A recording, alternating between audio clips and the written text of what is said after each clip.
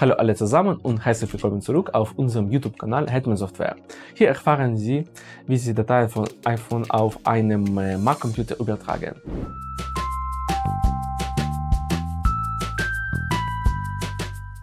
Freunde, wenn Sie gelöschte Daten wiederherstellen oder einen gelöschten Internetbrowserverlauf anzeigen oder wiederherstellen möchten, können Ihnen die Programme von Hetman Software helfen.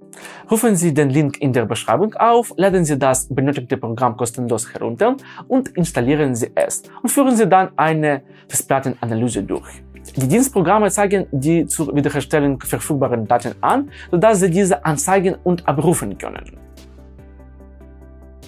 Auf unserem Kanal und Blog finden Sie eine Lösung für jedes Problem, von der Installation des Systems über die Konfiguration und Behebung von auftreffenden Problemen und Fällen bis hin zur Optimierung des Betriebs mobiler Geräte. Unsere Experten beantworten gerne Ihre Fragen in den Kommentaren zu unseren Videos oder Artikeln. Das Übertragen von Daten zwischen Geräten kann in vielen Situationen notwendig sein, äh, seien es um wichtige Dateien zu sichern, Fotos oder Videos zu verschieben und, oder einfach um äh, Speicherplatz auf Ihrem Gerät freizugeben. Wir werfen einen Blick auf einige Methoden zur Dateiübertragung, damit Sie die für Sie bequemste und effiziente auswählen können. Zunächst müssen Sie Ihr äh, iPhone für die Übertragung von Dateien auf Ihrem Mac-Computer vorbereiten. Führen Sie dazu die folgenden Schritte aus. Vergewissern Sie sich zunächst, dass Ihr iPhone und Ihr Computer mit demselben Wi-Fi-Netzwerk verbunden sind. Dies ist für die drahtlose Datenübertragung erforderlich. Schließen Sie Ihr iPhone an und äh, Ladegerät an oder vergewissern Sie sich, dass es ausreichend aufgeladen ist um die Datenübertragung äh, durchzuführen. Überprüfen Sie, ob Sie das neueste Betriebssystem-Update auf Ihrem Handy installiert haben. Gehen Sie dazu in die Einstellungen, wählen Sie Allgemein, Software Aktualisierung und installieren Sie alle verfügbaren Updates. Prüfen Sie als nächstes, ob iDroid auf Ihrem iPhone aktiviert ist. So können Sie ganz einfach Dateien zwischen Ihrem iPhone und Ihrem Mac über WLAN übertragen. Öffnen Sie dazu Einstellungen, Basis, iDrop wählen Sie hier den Modus Alle oder Nur Kontakte. Sobald diese Schritte abgeschlossen sind, ist Ihr iPhone bereit, Dateien auf Ihrem Mac-Computer zu übertragen. Nachdem wir nun das Handy vorbereitet haben, wollen wir uns nun einige Möglichkeiten zur Datenübertragung ansehen. Die erste Möglichkeit ist die Übertragung von Dateien von mm, iPhone auf den Mac über ein äh, Linienkabel. Verbinden Sie dazu Ihr iPhone über ein Kabel mit Ihrem Computer. Vergewissern Sie sich, dass beide Enden des Kabels fest mit dem Gerät verbunden sind. Sobald die Verbindung hergestellt ist, sollte das iPhone automatisch die Fotos-App auf Ihrem Mac öffnen und mit dem Importieren von Fotos und Videos von Ihrem Gerät beginnen. Wenn die Fotos-App nicht automatisch geöffnet wird, können Sie dies auf manuell tun. Starten Sie die App Fotos, die Sie über das Launchpad oder das Schnellstartmenü auf dem Startbildschirm finden. Im Abschnitt Geräte sehen Sie Ihr iPhone. Wählen Sie es aus. Nachdem Sie ein Gerät ausgewählt haben, wird eine Liste aller Fotos und Videos angezeigt, die für den Import zur Verfügung stehen. Wählen Sie die gewünschten Dateien aus oder klicken Sie auf die Schaltfläche Alle importieren, um alle Inhalte zu laden. Sobald der Import abgeschlossen ist, werden die Dateien im Ordner Imports abgelegt. Wenn Sie nicht nur Fotos und Videos, sondern auch andere Dateien übertragen möchten, können Sie das Programm Image hm, Capture auf Ihrem Mac verwenden. Dies ist eine Standardwendung, mit der Sie Dateien von abgeschlossenen Geräten importieren können. Öffnen Sie das Programm Image Capture auf Ihrem Mac Suchen Sie in der Liste der Geräte hm, auf der linken Seite Ihr iPhone und wählen Sie es aus. Sobald Sie Ihr iPhone ausgewählt haben, wird eine Liste mit allen Dateien und Ordnern auf Ihrem Gerät angezeigt. Wählen Sie die Dateien aus, die Sie auf Ihrem Computer laden möchten und klicken Sie auf Laden oder Alle laden, um alle Dateien zu laden. Sobald der Download abgeschlossen ist, können Sie die Dateien angezeigt und bearbeiten.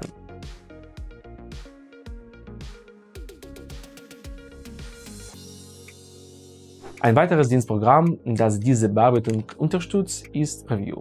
Sie findet es über die Sportlist-Suche oder in der Liste der Programme im Finder.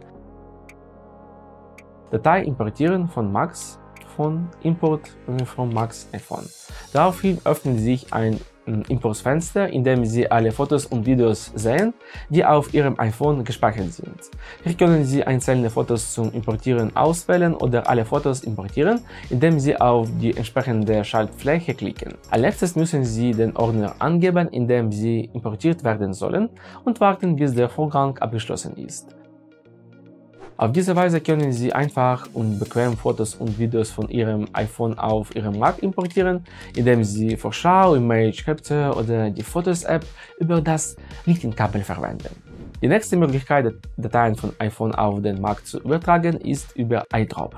iDrop ist eine praktische Funktion im macOS Betriebssystem, mit der Sie Dateien zwischen Apple-Geräten wie iPhone, iPad und Mac übertragen können, ohne Kabel oder Cloud-Dienste zu verwenden. Um die Übertragung zu starten, stellen Sie sicher, dass Bluetooth und WLAN sowohl auf Ihrem iPhone als auch auf Ihrem Mac aktiviert sind. Wenn die Daten über WLAN übertragen werden sollen, müssen Sie Ihr mh, mm, Handy auf Ihrem Computer mit demselben Netzwerk verbinden. Wenn Sie sich nach Beginn der mm, iDrop-Übertragung aus der Bluetooth- oder WLAN-Reichweite entfernen, wird die Übertragung über die Internetverbindung fortgesetzt. Stellen Sie sicher, dass sich der Empfänger, an den Sie Inhalte senden, in der Nähe und mm, in Bluetooth-Reichweite befindet.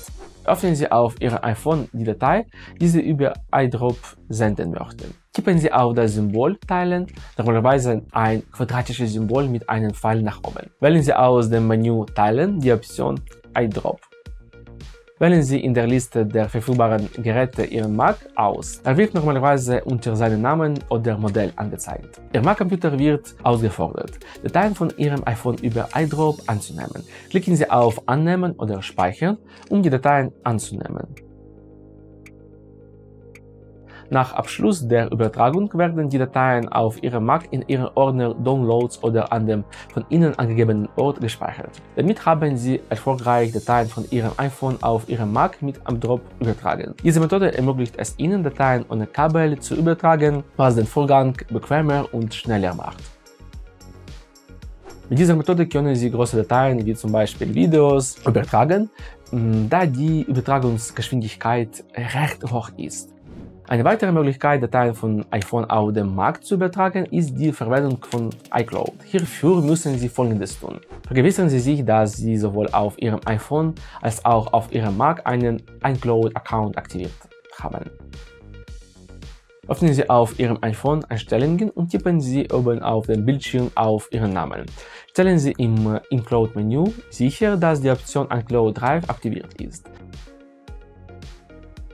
Gehen Sie zu der Anwendung, in der sich die Datei befindet, die Sie auf Ihrem Mac übertragen möchten und speichern Sie die Datei in iCloud Drive.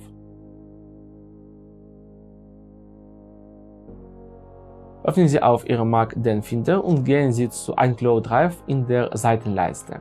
Suchen Sie die Datei, die Sie von Ihrem iPhone geladen haben und kopieren Sie sie in einem beliebigen Ordner auf Ihrem Mac. Damit haben Sie erfolgreich Dateien von iPhone auf den Mac mit iCloud übertragen.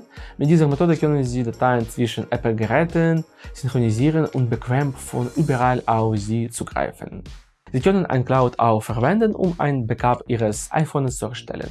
Gehen Sie zu Einstellungen, klicken Sie auf den Namen und dann auf iCloud. Klicken Sie auf Sicherung und aktivieren Sie iCloud-Sicherung. Dadurch kann iCloud bestimmte Daten automatisch sichern, wenn Ihr Handy geladen, gesperrt und mit WLAN verbunden ist. Tippen Sie auf der gleichen Sicherungsseite auf Sicherung erstellen.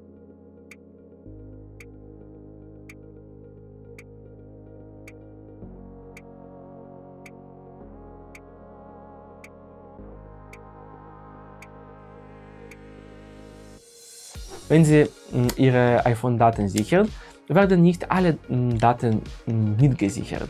Wenn Sie Ihre Dateien jedoch manuell in Dombox hochladen, haben Sie die Kontrolle über alles, auch über heruntergeladene Musik, die nicht in iPhone-Datensicherungen erhalten ist.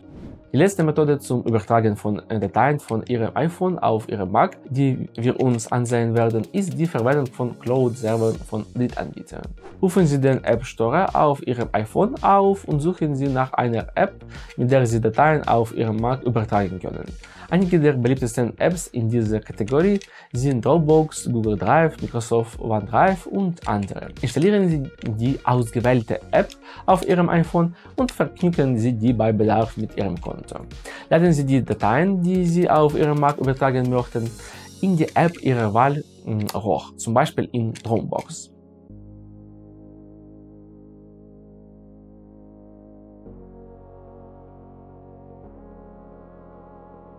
Öffnen Sie auf Ihrem Mac einen äh, Webbrowser und rufen Sie die Cloud Server Website auf oder verwenden Sie die Computerversion der App. Melden Sie sich bei Ihrem Konto an und suchen Sie die Dateien, die Sie heruntergeladen haben. Laden Sie die Dateien mit den entsprechenden Download-Funktionen auf Ihren Computer.